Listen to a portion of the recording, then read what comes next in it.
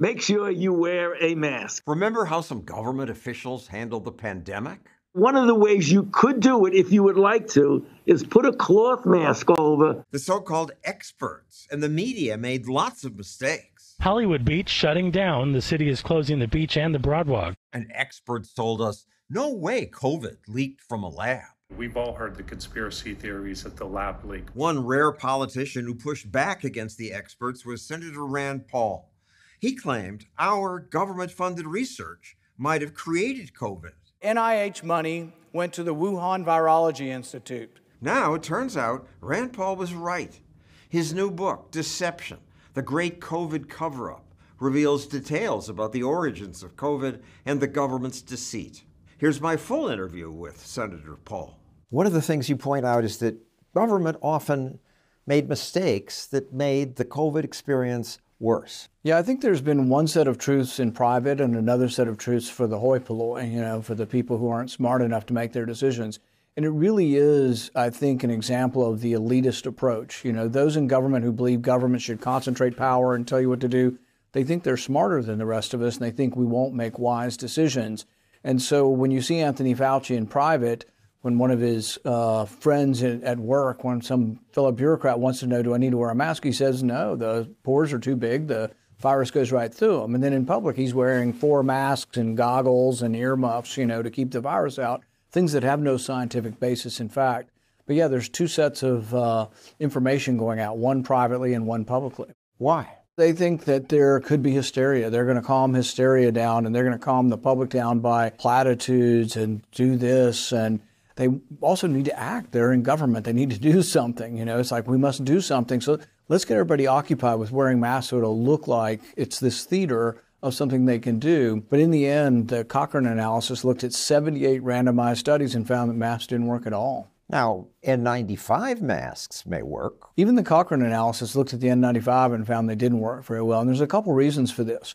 And I would say this with a caveat. If you're 75 years old and your spouse is sick with COVID the first time around when it was very deadly, I would have suggested yes, wear gloves and a mask when you go in to take them food, come out, throw them away, and have a brand new pair every time you go in. That's what the doctors and nurses do. It's not foolproof, but it might work to some extent. They do know that the N95 masks, which do have small pores, after you wear them for three or four hours, the moisture of what you exhale, your exhaled air, gets rid of the electro- electrostatic charge, and they don't filter as well. They really need this electric static charge. There's a lot of reasons they don't work as well, but they also know that they're so tight that everybody's fidgeting with them. So you and I shake hands, and then I was like, my damn mask is, is pressing on my face, and I do this. So really, I'm just probably bringing things actually to my face. But there's nothing wrong with people trying, but I think what we did was the opposite. So Anthony Fauci wears a Washington Nationals cloth, a piece of cut up shirt on his face. That's teaching you the wrong thing. So if you are at risk, an elderly person, an overweight person, and you're taking care of a family member, if you wear a cloth mask in there, you're actually being told the wrong thing to do. You're being told that I'll be safe, and you're encouraging bad behavior. So it's the opposite of public health. Anthony Fauci was actually telling people to do things that would put their life at risk. And there's a picture of him wearing a cloth mask? Two, three cloth masks. He showed up in one committee hearing. It's not the vaccine and you're wearing two masks. Isn't that theater? No, that's not. Here we go again with the theater. And he got all bent out of shape. But presumably three protects more than one. Maybe, but maybe not at all. You know, and the other thing is, is most of the masks don't work if there's air going outside of the mask. So you have to have a perfect seal on your face. And, and a beard isn't so yeah. helpful. And then the question is, and this is the whole problem of public advice this disease, not for the first time, but probably more so than almost any disease in recent history, had a real difference between ages. What you should tell children is wear nothing, go to school. It's, it's less than getting the chickenpox. It really was. For the elderly, you should say take precautions, maybe avoid crowds, maybe do this. So the advice was different, but they just made everything the same. It's the same with the they vaccine. Everybody take yeah. same precautions. But that's government medicine. That's a centralization of control. And this is why I say that Dr. Fauci would be less of a menace if he were a family doctor in Peoria because you could take or leave his advice. But because it became so centralized, and he'll argue, I didn't, I didn't force any mandates. Well, once it becomes the dogma of the CDC and of NIH, what happens is if I own a private hotel, best practices, according to Dr. Fauci, are everybody should wear a mask and we should only have 25% occupancy. So some of the mandates rolled off of best practices, but it all flowed downhill from Fauci and his, uh, I think, mistaken advice. And for saying this, YouTube banned you. I have been censored. I've been kicked out of you know a lot of good places, but I take that as a, a badge of honor. And uh, I think the real problem is not so much that YouTube censored me or Twitter or Facebook. Facebook censored people for a year and a half on the COVID origins, but it's that the government's coordinating with them, and that's my real objection to it. Is that weekly FBI and the Department of Homeland Security are actually meeting with journalists, Twitter, et cetera, and saying, you, you know, this is stuff we want you to take down. You've decided not to go back to YouTube. I'm on Rumble, and I think that's part of sort of the libertarian or free market answer to this. If you don't like somebody, don't use them. If you don't like their policy, don't use them. Go somewhere else. Then you reach fewer people. Maybe, maybe not. YouTube probably is still a lot bigger than Rumble. Um, I don't make any money off of doing it, so I just am happy to go where I can get my views out. And I want to try to uh, put my product or my content where people are actually open to freedom of speech. But I am of the belief that we should stop government from coordinating with these people. I don't think the First Amendment allows government to stop Twitter from banning me or YouTube from banning me. But I think the First Amendment does allow for me to regulate the FBI and say the FBI cannot have routine meetings. And it's amazing how people don't get this. Like, I'll have an interview with a broadcast journalist, and I'll say to them, What would you think if after our interview, you had a meeting, the FBI called you and said, We'd like to meet, and then we're going to look at your footage and we want to see what would be misinformation that you brought out of Rand Paul and that shouldn't be aired? Well, people would be horrified by that. Yet there's little outrage about this. What amazes me is how the outrage is only on one side anymore. I've been trying to get a Democrat on my bill to say that the government shouldn't be involved with censorship, and I cannot find one Democrat. And I lecture them, uh, you know, relentlessly saying, you guys used to be the good guys. In the 1960s, it was the left that criticized Hoover. It was the left that said Civil War protesters, you shouldn't be censoring their speech and investigating them. It was the left that says you shouldn't be looking at Martin Luther King's private phone calls and you shouldn't be threatening Martin Luther King. The left was the defender of the First Amendment. The right wasn't so good. Now it's sort of completely flipped, and I'm hard pressed to find anybody on the left. There are some, but those people are now renegades to the left. Glenn Greenwald, Matt Taibbi. These were people who probably would tell you they came from the left, but are still defenders of the First Amendment. But there's so very few. The silence is deafening. Staying on the topic of mistakes, the beginning of the pandemic, government officials closed beaches. The closed sign staggered on the sidewalk paints a clear picture. The beaches will remain closed. One of my favorite images is in California, the Coast Guard, Coast Guard cutter, chasing a guy down paddleboarding by himself in the Pacific Ocean as if he's somehow a threat. And the ridiculousness of that makes people distrust government. My other favorite image is a guy was jogging on the beach in California, and you can tell he's very uh, light footed and he's just cruising along the beach, and a policeman's coming up to try to stop him from being on the beach by himself. And the be- policeman has these big, heavy boots on. He's trying to get closer, and the guy sees him out of the corner of his eye and just sort of picks up his pace. And you can just see this guy running, and he never gets caught. And You're like, hooray for freedom. A guy's on the beach running. Leave him the hell alone. Vaccine mandates. They were trying to protect people. Good intentions don't excuse bad behavior. It goes back to the, the supposition are people too stupid to make their own mind up? And I like to go back to the sort of the beginning with vaccines, to smallpox. When smallpox came out, the vaccine was like 1720s. It was very, very controversial, and it was a live vaccine. They took some pus from somebody who had smallpox, unroofed it, and stuck it in somebody's arm who didn't have smallpox. They gave you smallpox. And yet the public, by and large, pretty much accepted it. It had a death rate of 1 in 50, but the death rate from smallpox was 30%. People aren't stupid. When smallpox came to town, people lined up and took this vaccine. The doctors who started doing it vaccinated their kids first. They didn't mandate it. They showed, look, I'm proud of this and I'm vaccinating my kids. And it, co- it took off. Uh, George Washington eventually uh, tells Martha she can't come to the camps until she's had a smallpox vaccine, and she does. But here's the interesting point about it, and we put this in the book as well. George Washington didn't take the vaccination. You're like, why? Was he a vaccine uh, anti vaxxer? Why didn't he take the vaccine? Because he had smallpox scars on his face. He'd had smallpox. So we used to believe and know that when you had something, it provided immunity. Not always perfect immunity. Smallpox is pretty much complete immunity. But most time people knew if you had something, if you got it again, you'd have less of a reaction the second time around because your body already knew it. provide perfect immunity either. Probably actually less so. We now, uh, through a million person study, know that getting it naturally was twice as good. But if you tell this to a left wing reporter, they'll say, oh, you just want people to get sick and die. And if they don't die, they have immunity. It's like, well, no, I'm just acknowledging that a lot of people got sick. Some did die. It was tragic. But the ones who got sick, give them the information so they know what to do. Do they need 10 more vaccines or is it protective? See, the CDC knows this. The CDC will not reveal this information. So instead of your government helping you make decisions, the CDC will not tell us. If you're 60, let's say you're 75 years old and you've had two vaccines, you took the advice in the beginning, and then you've had COVID once, what are your chances of dying again? I think they may be zero or very close to zero. You may not need your third, fourth, and fifth one, but you should be given the information. The government has this information. What does it mean to have been infected? They just sort of left that out. Why won't the CDC give this information out? This is where you get into whether or not you believe there's something nefarious and a monetary incentive involved, and uh, whether or not they're doing this to make money for big pharma. I'm not so crass as to believe they. I think these probably are good people that aren't doing it for it. But I've asked questions. So I've asked: Is anybody on the committees to approve the vaccine? Do any of them receive monies from the vaccine manufacturers? They won't answer me. Dr. Fauci told me it was none of my business. He said that a law prevented him from revealing that to me. And I, that's not an acceptable response. When they approved the third vaccine for children, the first committee was the FDA committee. It's full of all scientists that are pro vaccine. In fact, they don't have a problem with mandates at all. They came out with the advice 65 and older, nobody else, for the booster. CDC had another vaccine committee, scientists, all pro vaccine, fine with mandates. They said the same thing 65 and older. Rochelle Walensky, a political appointee of Biden, overrode both scientific committees and said the vaccine booster should be given to six months and up. Most of the countries of Europe don't do this. Almost every country of Europe, it's 12 and over, and it's advice. Why? What's the motivation? That's the question. Get more Bill- people frightened and then they'll take the vaccine and that will save America? I think most of them are not very smart and they just blindly think, take the damn vaccine, shut up and take it. It's good for you. Don't think about it.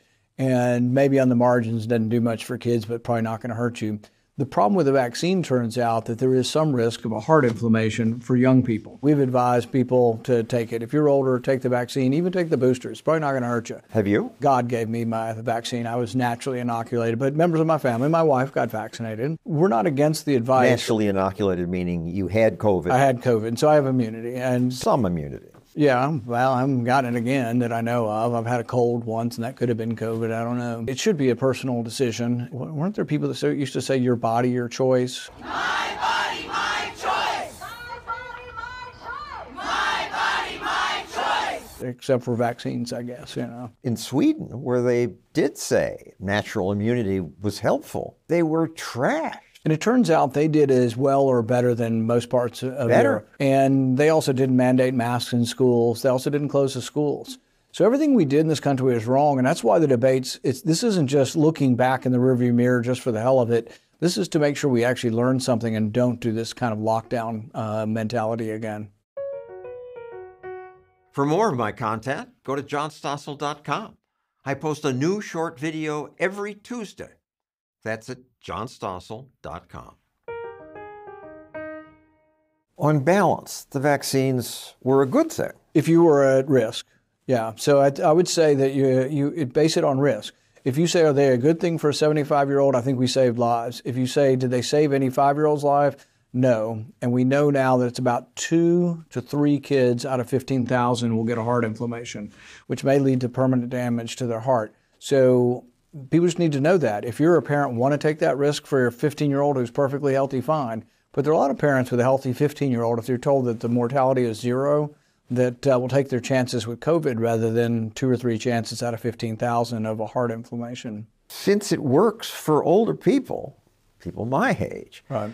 the Republican messaging may have killed people. There's data that shows that more Republicans died. I think it's actually the opposite. I think what happened is vaccine hesitancy comes from people's disbelief in government.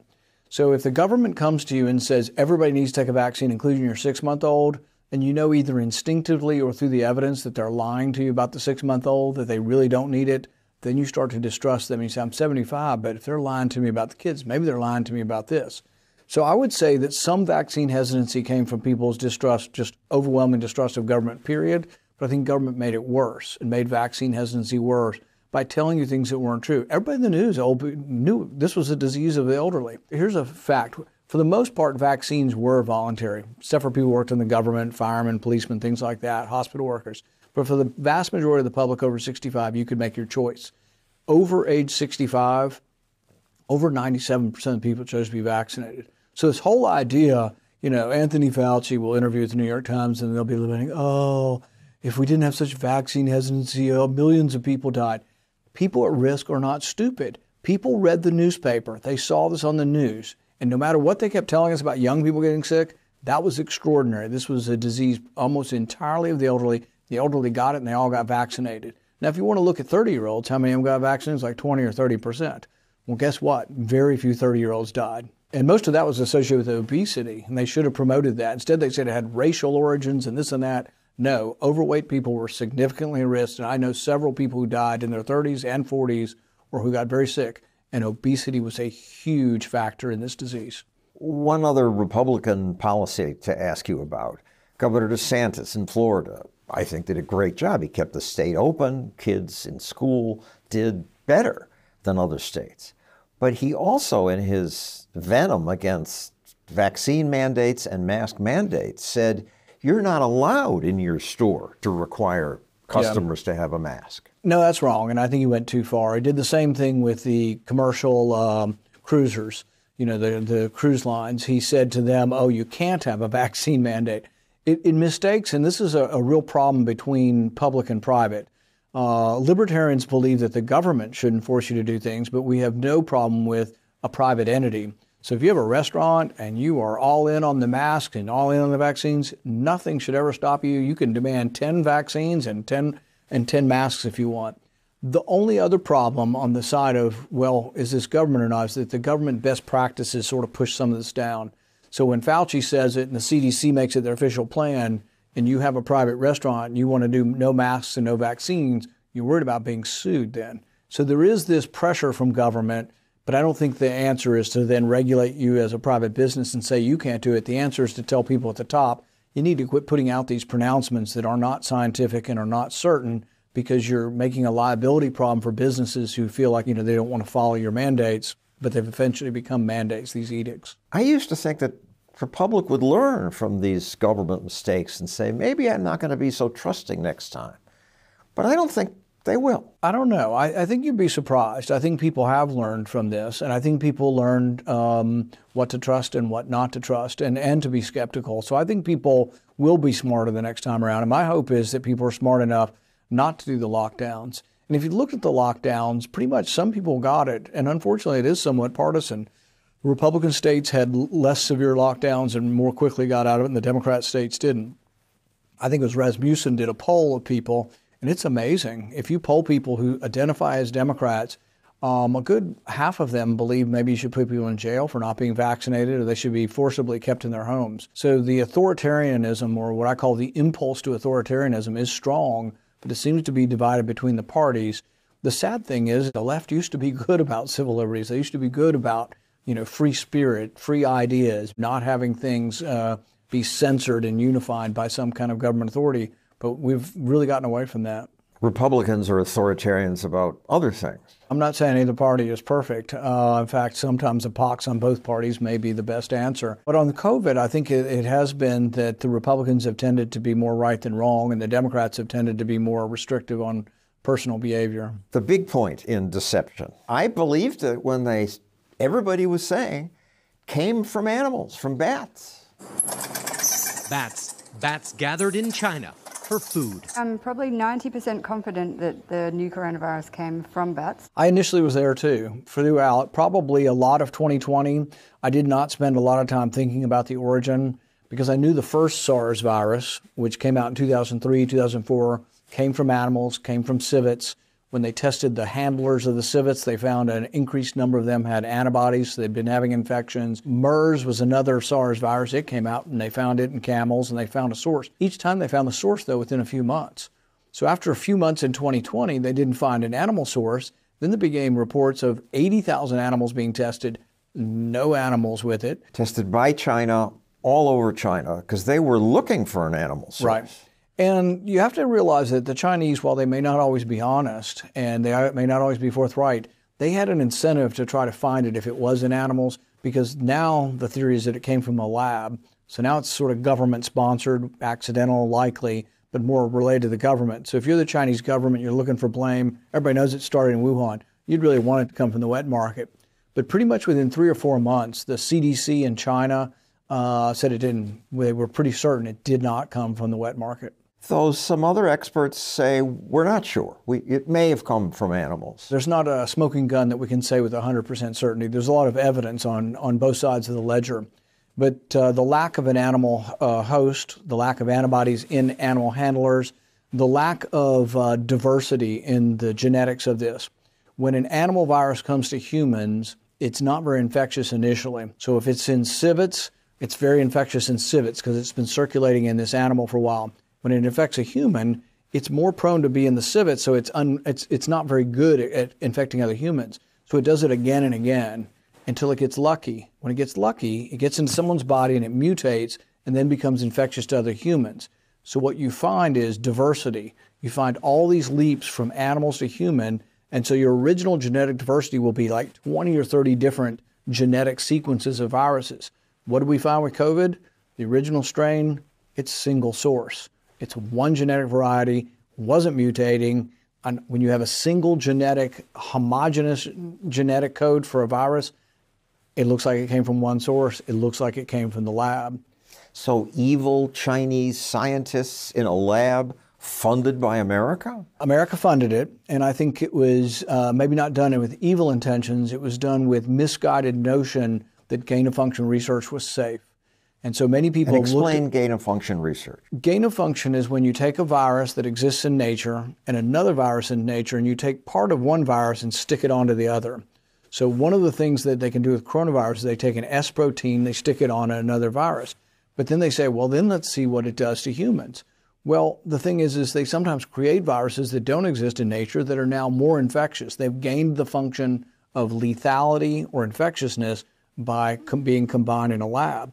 We know they were doing this, and this is one of the things that we discover in the book, and one of the things that we put out there. Fauci admits on February 1st of 2020, at the very beginning, that they're doing gain of function research in the Wuhan labs and that we funded it. And the purpose of it is to let the virus thrive and then f- develop a vaccine, find a way to kill it. Probably. Just probably. Well, well, the theory is is they were working on something like that. They were working on a vaccine uh, what they call a pan corona vaccine for all different types of coronaviruses, which is what COVID is. They were working on this vaccine and that it must have leaked out.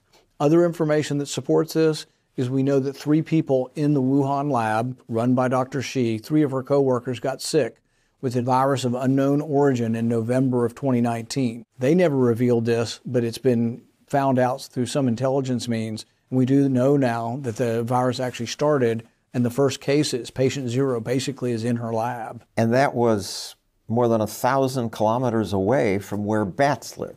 Exactly. It's six, eight hours by car south where you find the bats.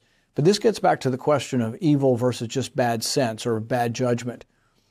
If viruses exist, let's say they exist 300 feet below the level in guano in a cave, the likelihood that that virus 300 feet under the ground in a remote area of China is going to interact with a lot of people and cause a pandemic virtually zero. But what if we send virus hunters 300 feet down into the cave, they extract the virus, bring it back to a metropolitan area of 15 million people? There's a chance that somewhere in that transmission, the virus leaks out that never would have encountered man. But it's worse.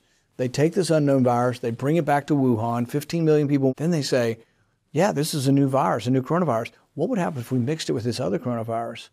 So the whole virus identification project, which has been going on for about 10 years or more, hundreds of millions of dollars have gone into this US dollars, has been not just to identify every virus on the planet, but to identify it and then do gain of function research to manipulate it to see what happens.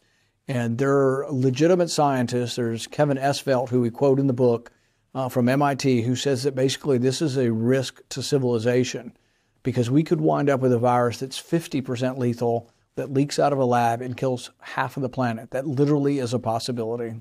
But they're not just playing around. They're trying to find ways to stop right. diseases. But many scientists have now looked at this and said that we haven't found it. We've been doing this gain of function research for quite a while, and nobody can really point towards an exact benefit from this. The other argument against this is that when you create viruses in the lab, evolution is random. And so when a virus or a dangerous virus evolves, it does it through random mutation, and then something we get an unlucky one and it takes off. If you created in the vir- uh, a virus in the lab, it's not random, it's man made. And you say, oh, I'm doing this so I can discover what's going to come from nature. Well, because it's random and there are millions of different combinations that could happen, the likelihood that you create something that creates a vaccine that's going to help anybody is pretty slim to none. This controversy has been going on since before COVID. It really started in 2010 with the avian flu. The avian flu is from chickens and birds, and it's very deadly when it gets into humans 50% mortality, but it's not very contagious. So a guy in the Netherlands said, why don't we see if we can aerosolize it, make it uh, transmitted by air, even though it's not normally transmitted that way? And people said, that's crazy. And he did it. And then there was a discussion over whether the, the knowledge should be published because it might become a roadmap for terrorists to create this kind of virus. And so Anthony Fauci was on one side, and Richard Ebright and the other scientists were on the other side, and they had a big war. And Anthony Fauci won, like he's won so many times. And he said in 2012, even if a pandemic occurs, if a scientist becomes infected and the community becomes infected, the knowledge is worth it. Well, that's a judgment call, and I would say there's probably 16 million families around the world who might disagree with that now. But this is a real debate that has to be had. It's all funded by government. Whether or not government should have some regulations on what they fund, I think without question we should regulate government more um, to have more scrutiny over this. They are still funding gain of function research. Yeah, absolutely. There's there's 12 different places in the United States that we do this. There are some labs that we're not even allowed to go into that we're petitioning to try to find out about this. But there's one other important thing that happened in this, and, and it adds to the culpability. It wasn't just a bad decision of Anthony Fauci. There was a pause between 2014 and 16. This was so dangerous. They said no more gain of function research and yet it kept happening. How did they get these they exempted? Said, who the, our that? government. Our government stopped the funding of gain of function research from 2014 to 16, and yet many of these things in Wuhan were still going on through this. Who approved them? Well, they also set up a committee. In 2017, they turned the spigot back on. It's in January of 2017. Gain of function is now going to be uh, funded once again. But as they turn it on, it's like they set up a committee. And this committee is supposed to see all dangerous research and say, is it dangerous? Should we let it happen? None of the Wuhan research went before there. So when I questioned Fauci in committee, he says, all my people, up and down, all 12 dozens of experts tell me it's not gain of function. It's like, where's the discussion? Have you ever heard of a government discussion where there's no paperwork? And why didn't it go before the committee? And then I met the person who's in charge of the safety committee. He said he only looked at three studies over like a four year period. And I said, why? He says, I didn't have the ability to go out and look at studies. I had, it had to be self referred. People had to volunteer. I think I'm doing gain of function research. Would you look at it? And he looked at three, and I think they turned down one or two out of three. But this was exempted from the safety committee. It could have only been done with Anthony Fauci's permission. I think we are eventually going to find paperwork. We haven't got it yet. We're going to find paperwork that shows that Anthony Fauci gave permission for the research to happen in Wuhan without scrutiny by the safety committee. The media is weirdly uncurious about this. It's perplexing. Democrats in Congress and their allies in the media are always curious about things killing people, you know, dangers, safety.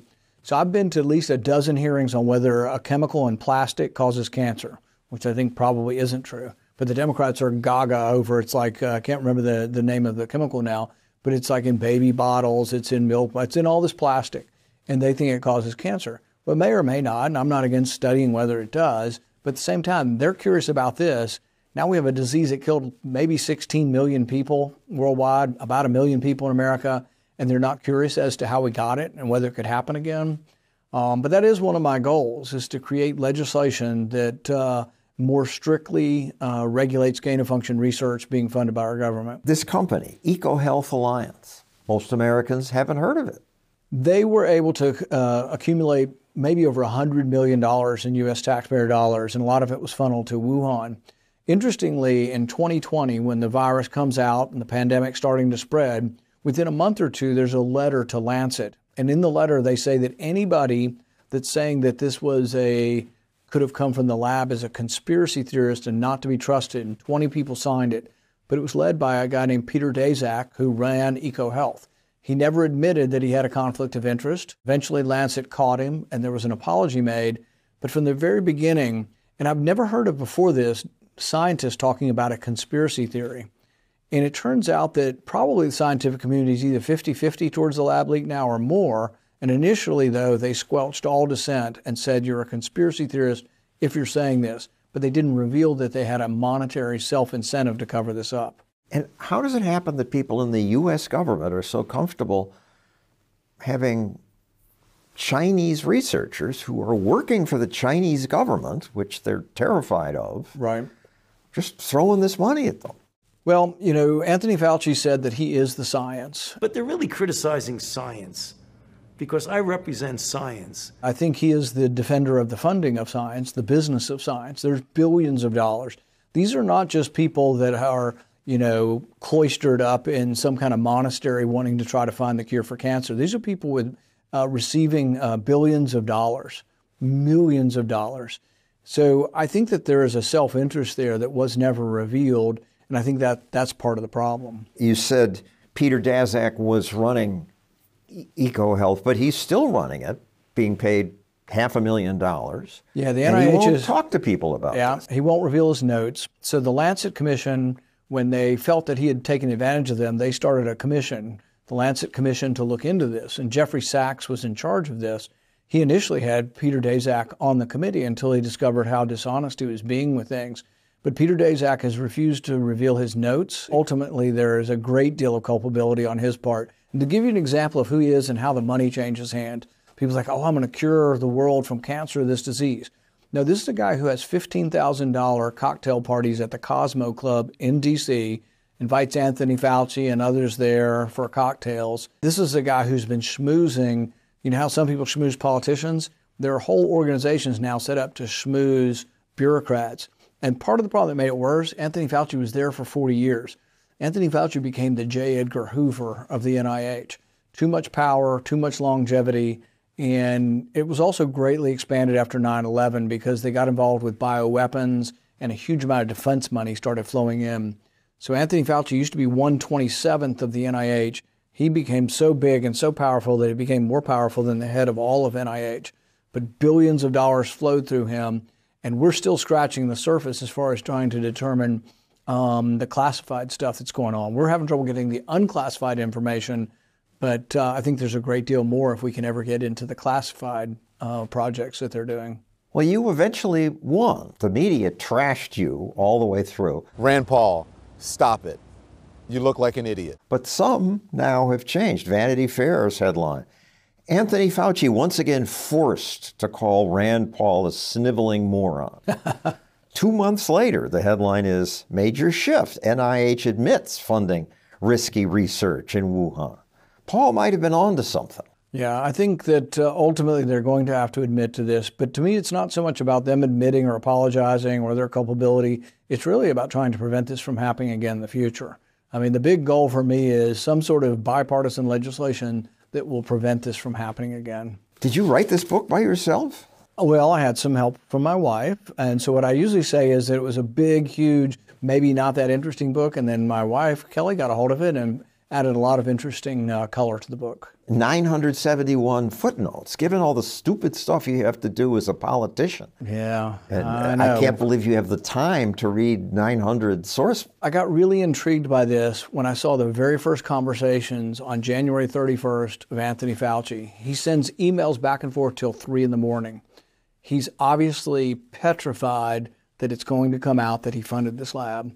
And so those emails intrigued me because we see all the way through till 3 in the morning. The last email at 3 in the morning is to a guy named Bob Kadlec. I didn't know who that was at first, but I discovered in doing the research for this book that Bob Kadlec, who receives an email at 3 in the morning, he's head of the safety committee that's supposed to oversee this research. So why is Anthony Fauci emailing him at 3 in the morning saying, nothing to see here, probably came from animals? Because he knows that, that Bob Kadlec's committee should have reviewed this and the only reason they didn't is because Anthony Fauci prevented this research from getting the, the proper safety review. Thank you, Senator Paul. Thanks for having me. Thanks for listening. New episodes drop the first and third Mondays of every month. Can subscribe everywhere you get podcasts.